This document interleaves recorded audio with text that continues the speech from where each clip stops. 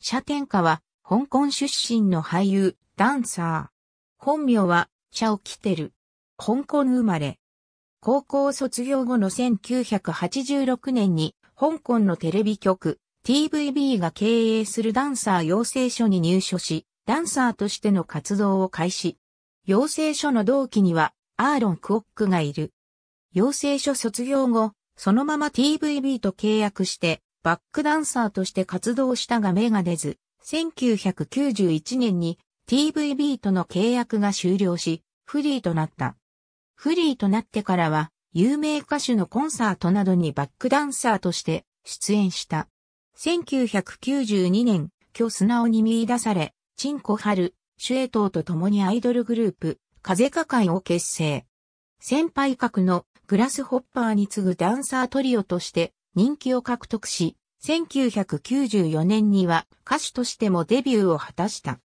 またこの頃から映画俳優としての活動も開始し、同年公開の君さえいれば禁止玉葉や1998年公開のフーンストームライダーズにも出演している。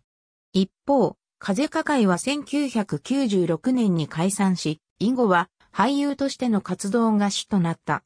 1997年には超学友監督、主演のミュージカル、雪追いの子に準主役として出演。劇は連続42日間公演の記録を達成した。1998年、フルス、TVB と再契約して専属俳優となり、同曲制作のドラマ、心情に、羅生門の役名で出演し、軽妙な演技で人気を得た。その後も TVB のドラマや映画に数多く出演し、俳優としての地位を確立した。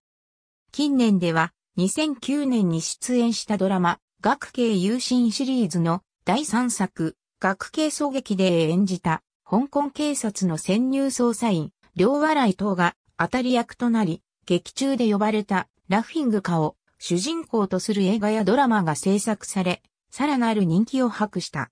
2013年7月をもって TVB との契約期限を迎えるが、以後は専属契約はしない方向。契約終了直前の1991年の月給はわずか約 4000HK ドルという低賃金であった。チンコハルトはその後も映画でたびたび共演している。ありがとうございます。